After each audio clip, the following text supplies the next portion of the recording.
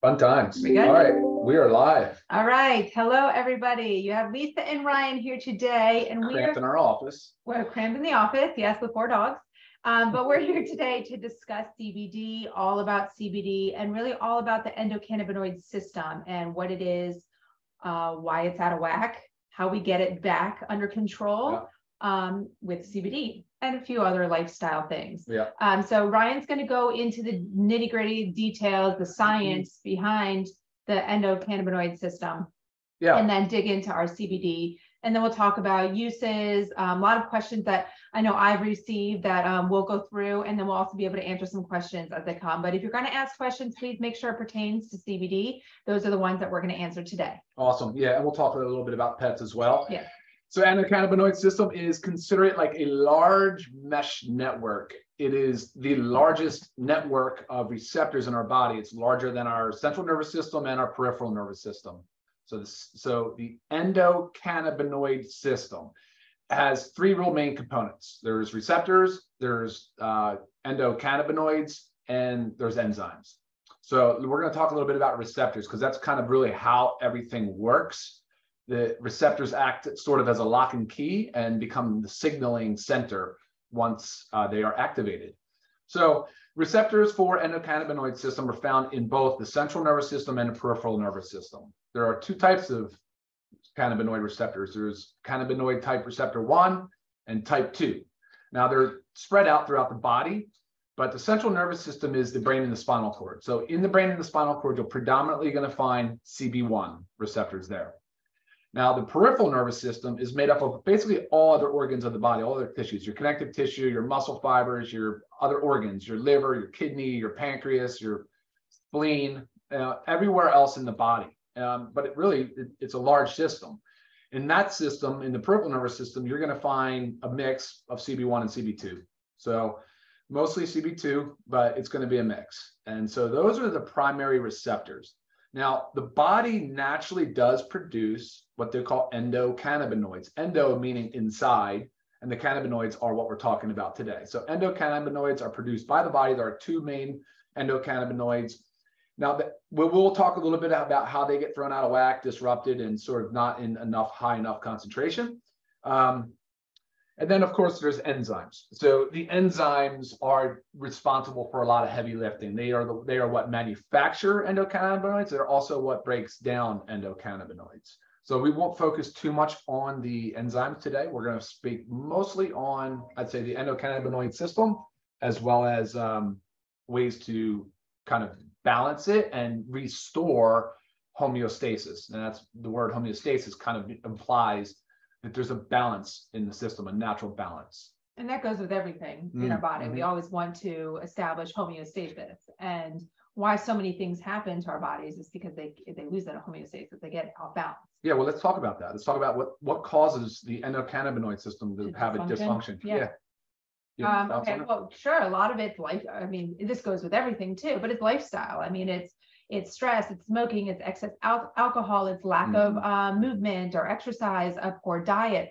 All these things, just as they can throw other um, of our bodily systems out of whack, Sure. all these things can also throw our endocannabinoid system out of whack. Yeah, Um, what are some other things? Did I get to know? yeah, I think you covered the big ones. You know, there, uh, you guys may have heard of things like endocrine disrupting chemicals, Oh, right? So things like phthalates. Uh, that's one that comes to mind for me. It's real common in like plastic water bottles. Or BPA? BPA Yes, and all- yeah, we all know those those things actually can really disrupt the normal endogenous production of your endocannabinoids. Those are two. Um, we talked about, like you said, you hit on the big ones: obesity, smoking, excess alcohol, toxins, exposure. You know that that is really where most people get kind of sort of thrown out of whack. Now it won't just be your endocannabinoid system; it's going to be basically your entire body system, which depending on the literature that you read and the studies you read, there's a lot of evidence now to suggest that the endocannabinoid system really is the connection, the bridge between brain and body, between the central and the peripheral nervous system, the bridge now. That's really how they're,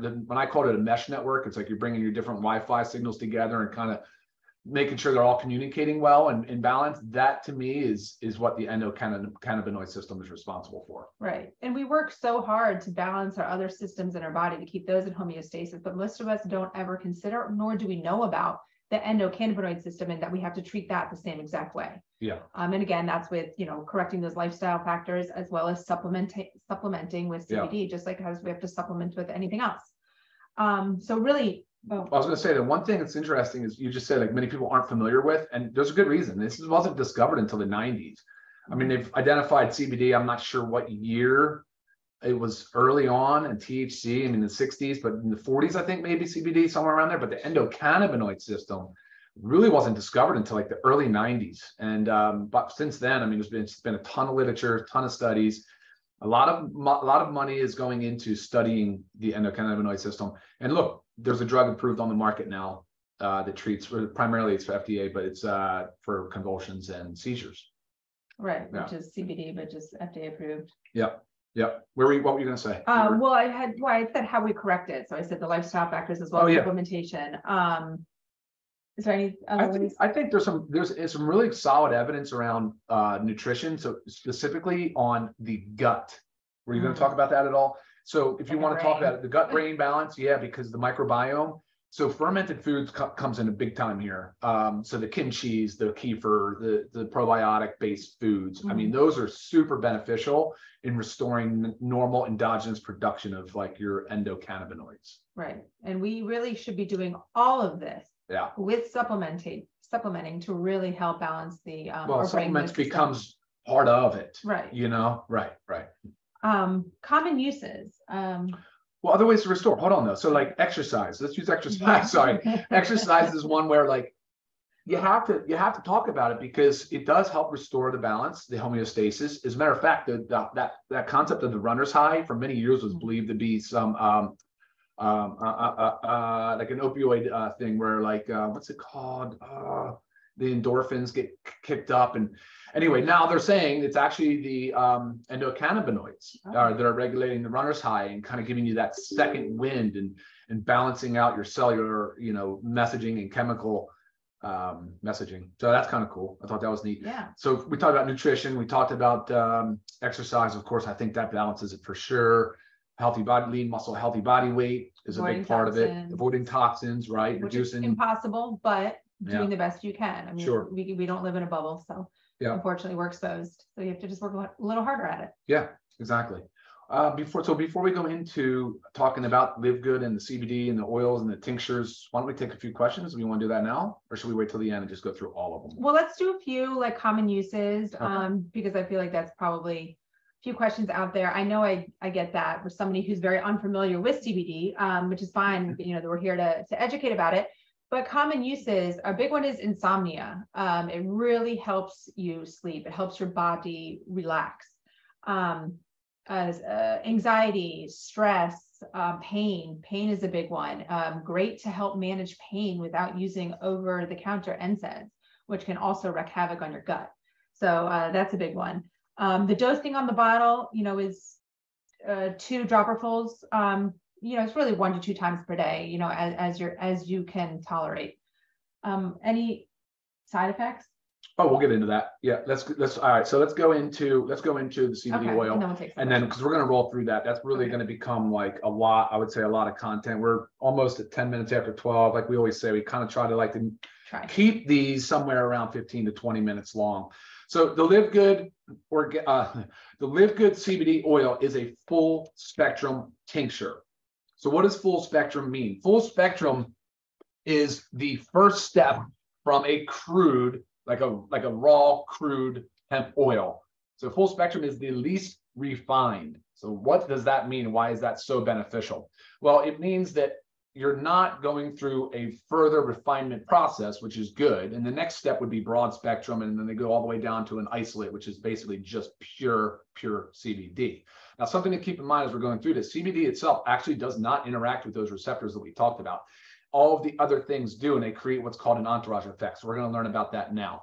So full spectrum has uh, the flavonoids, which are basically like antioxidants in the plant. You have the terpenes, which are what gives you the flavor and the aroma. Um, they're they're they're organic hydrocarbons that are that are part of the essential oil of the plant. Like an easy example would be like the rind of a citrus, like something like a lemon. Like if you kind of zested off that rind and smell and the aroma that you get, that mm. is That's kind of the essential oil. Those are the terpenes that are flaring out. So when you when you smell and you and you taste the terpenes, your body already starts to sort of respond to it. Terpenes are powerful, powerful stuff.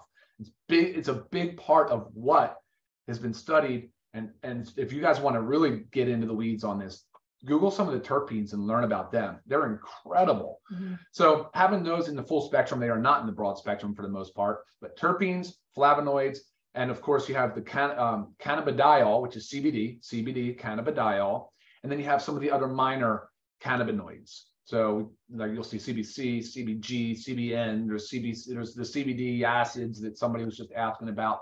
Now they'll vary, they'll vary quite a bit based on the plant, based on the, the cultivation and the harvesting and all that. But that is in essence the benefit of full spectrum. Now, with that said, you are going to have some THC.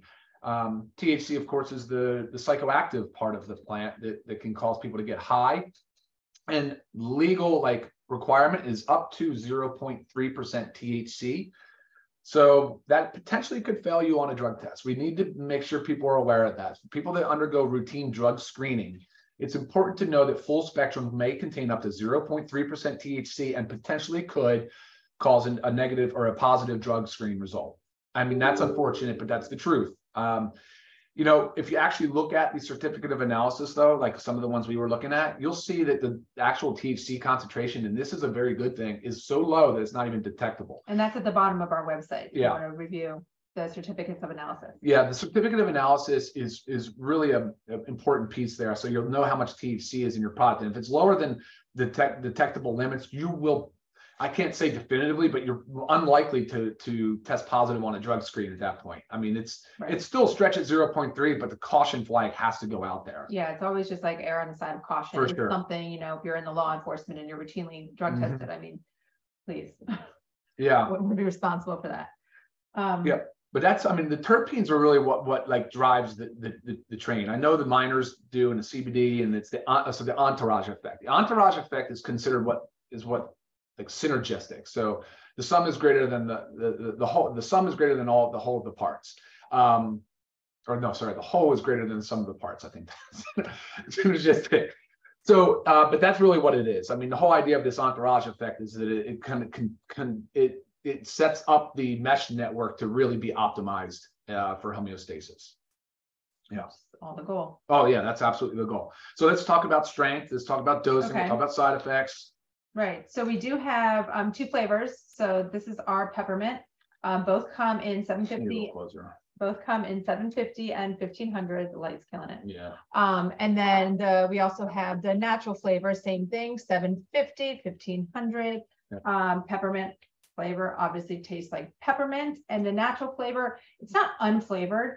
It really just tastes natural. like natural. Yeah, you, you can just taste it, but it's nothing yeah. like that has a significant flavor. Um, like I said, 750 and 1500. Why do we have two different doses? Um, we, when somebody is just starting out with off with a CBD, excuse me, um, we always recommend just starting low. Start with the 750, work your way up. Uh, the dosing is one dropper full. So uh, when you do open it up, you will see there's little uh, markers. So one milliliter is one dropper full. And sometimes you have to give it a few extra like squeezes to get it up to the one milliliter. Um, but that is the dose. So I always say start with the 750 if this is your first time using it and then increase as needed because um, it can be used multiple times a day. Is there an upper limit? No, no, there's really not. However, CBD will can be considered biphasic, which means you could potentially get a different response at low dose as you would at a high dose, not just an amplified dose of what you got at low dose, something very different. Okay. Um, so yeah, you're right on the money though. You start with the 750. So that means 750, 750 milligrams in the whole bottle and there's 30 milliliters in that bottle. It's one ounce. That is 25 milligrams per ml. All right. And there's 30 mLs. So there's your, that's your 750 milligrams. Um, start low, go slow. If you don't know what your dose is, you start low. You can even do a half a dropper full of the 750 and you you go slow. You titrate up and you can kind of find a sweet sweet spot. It is a daily dosing. It's recommended as a daily dosing regimen because again, you're trying to balance and create and optimize that mesh network. Um, and yeah, I think a bedtime dosing is probably ideal just to start with, um, or at least later in the day or a time when you're not really expected to do much because somnolence or sleepiness could set in.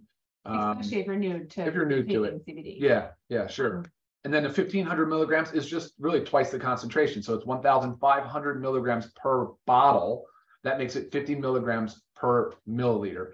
Obviously, a bit greater bang for the buck, um, but uh, you from a, from a dose titration perspective, you probably would be better suited to start on the low end of 750 and work your way up. Right. Um, and I always recommend holding it under your tongue for 30 seconds before swallowing. That really helps maximize the absorption. Yes. Um, and then quicker as well. Um, so it's like before bed, you know, 30 minutes before bed, just hold it 30 seconds under your tongue. Yes. Um, Talk about the carrier.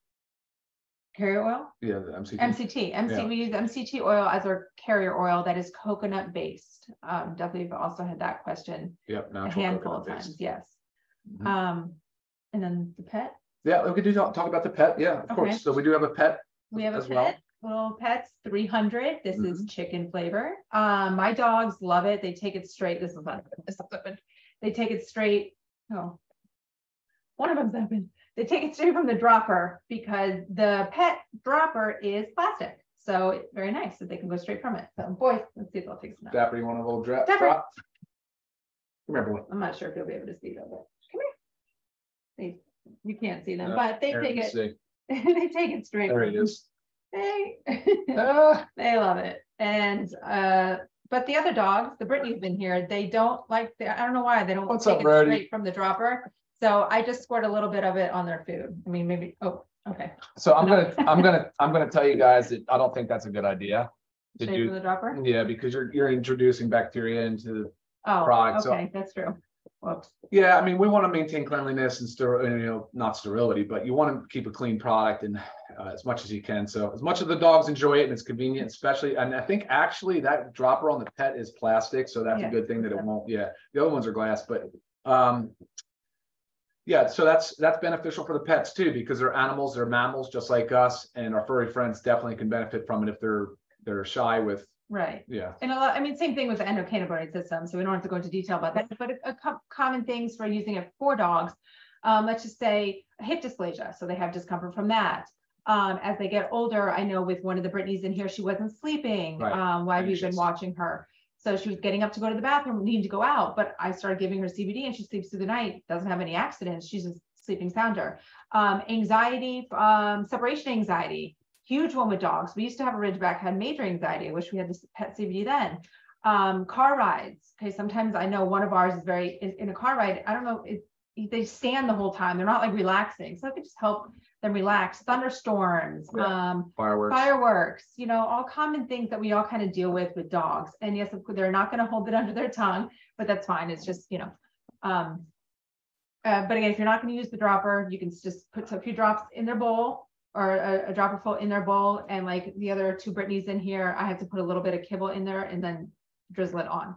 So whatever works for your dog. And one of the reasons why we say under the tongue is just that hopefully you get a little bit better absorption. You know, it's it's it's difficult. The CBD is not very well absorbed. One of the reasons why MCT is a superior carrier is because it does increase the solubility and the absorption of CBD. Um, so and it's a natural based carrier. So we wanted to go with something that we thought was going to give the best the, the best absorption and and uh, effectively Okay. bioavailability. Yeah. Did you look at some questions? Yeah, well, um, one thing though to keep in mind, all right, so what are some drug interactions? What are some risks? Who should not start? So Mhm. the CBD is metabolized by the liver. Um, like I said, the FDA did approve a drug called Epidiolex. It was approved for convulsions and seizures. And, um, you know, you can go on and you can read a little bit about it.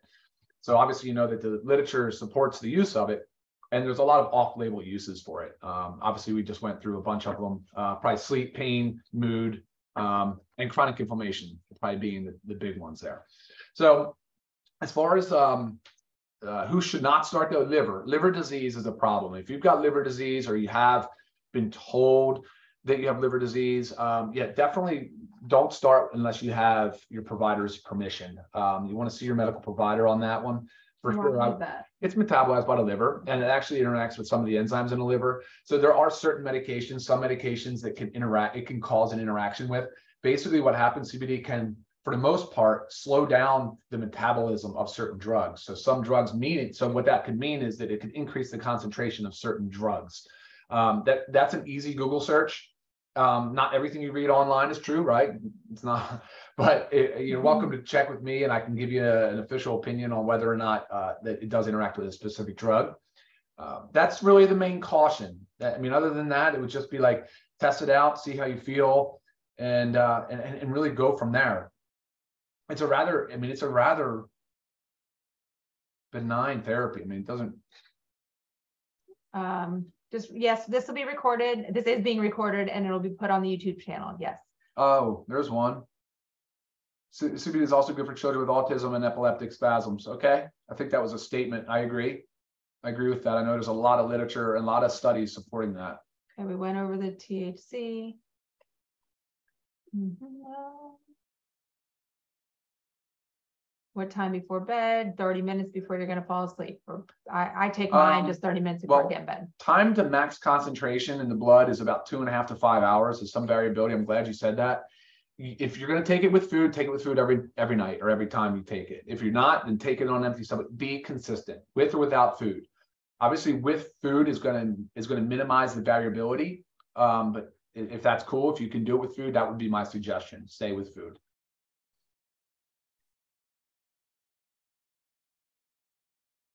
Two drops. Uh, again, a serving is a dropper full. There's uh markers on it. One milliliter is a dropper. And each bottle is 30 milliliters, so that's 30 servings per bottle. Um, anytime you're gonna use any, any supplement for children, please talk to your um child's pediatrician before starting. Our pediatrician approves of the use. Okay, there's a lot on the children, but again, Yeah, same yeah, thing, yeah. you know, anytime we're, we're discussing with children, just, For those of you that were asking about the C, uh, the certificate of analysis having an expiration, it should not have had an expiration date. That was a mistake. So they redid the certificate of analysis. There's another one going up on, on, on the website. So don't worry about that. The, the, the beyond use dating is two years, but they, they have stability beyond two years. We just put, we wanted to make sure that we stuck it with two years. From the data manufacturer. um, well, you want to answer this? one? No, no, that's just having to do with THC. Unfortunately, we chose the full spectrum because we think it has, it offers the most clinical benefit. Yeah. So you're always gonna have the risk of THC. Um, there may be some other products in the future that we come out with that are more focused on, say, something like sleep, where we won't have any THC in it, but at this time, we don't. I've had this one before. Does it increase appetite? No, it It's actually may nothing. No, decrease yeah. appetite. No, one of, one of the, one of the side effects is it potentially causes a decrease in appetite. Um, Patrick, I would love to know if this helps your cat with its seizures. Yeah. Please let us know, give us some feedback. Absolutely. All right. For, uh, we guys, we're running twenty-three minutes after CBD is twelve. not Water soluble. I did comment on, on, on, on, on solubility and absorption. You are correct in that. Yeah, Okay.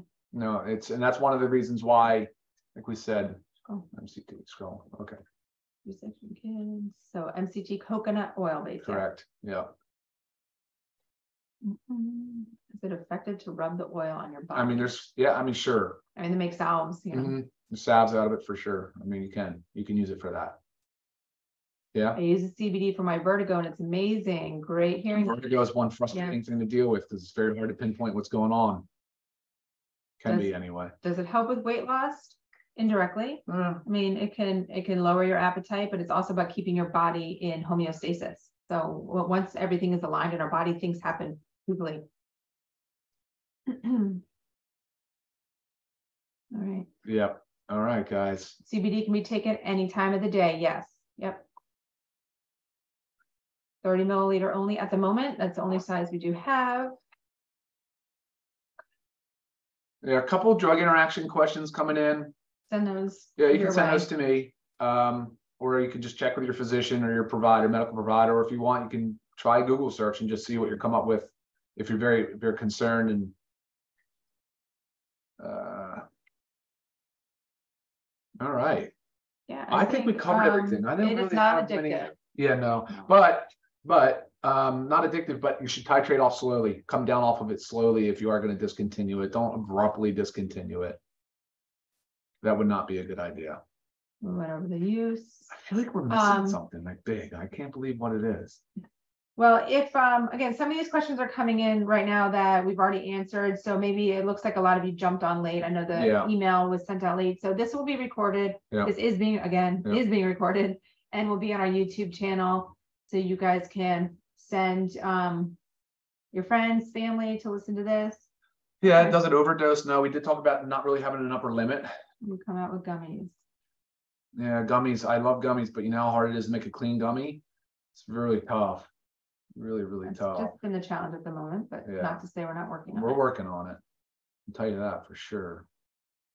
Um, all right, Heather, how Can do you we mix it in a drink or a smoothie? Yes. Sometimes at nighttime I put it in tea. I mean, it, you know, again, can't really taste it unless you have the, um.